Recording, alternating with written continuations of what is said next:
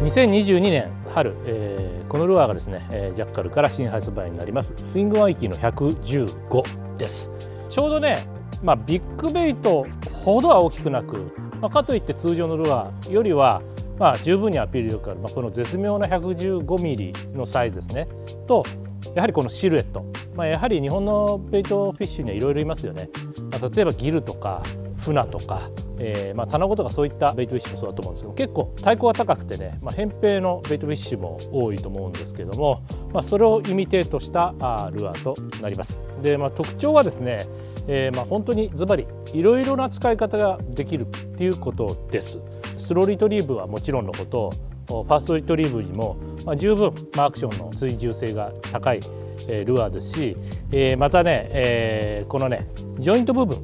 がちょっと普通のジョイントとは違うんですよね。それぞれのボディのところの、ま、可動域が非常に広い。で、まあ、このことによって、えー、何が起こるかっていうと例えば水面に浮かしておくままラインテンションをこう緩めて、まあ、ラインの重さだけでルアーがこうゆっくりと引っ張られるような状況でも、まあ、大きくまこうアピールしてくれたりだとか、まあ、あるいはトゥイッチとかあまちょっとした小技ですね。の時にも可動域が広い分、ま、非常に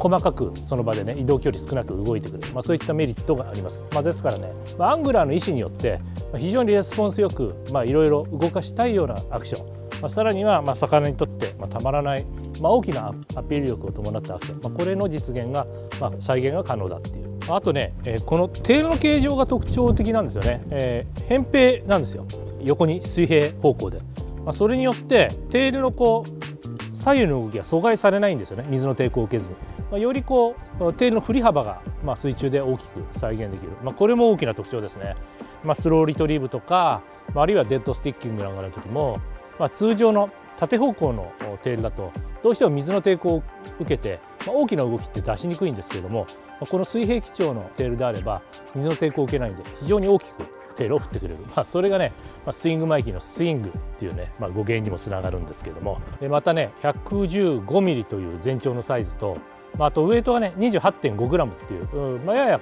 軽いんですよね、まあ、このシルエットの割には、まあ、ミディアムアクションあるいはミディアムヘビーアクションといった、まあ、比較的皆さんがすでにお持ちの柔らかめのタックルでも十分こなすことができる、まあ、フィールドコンディションも、まあ、本当に野池や、まあ、地方規模のフィールドから例えばここ琵琶湖なんかのね、まあ、非常に広大なエリアにも効きますし、まあ、アングラーもまたフィールドも、まあ、そしてタックルバランスも選ばない本当にオールマイティーなルアーがこのスイングマイティの115です。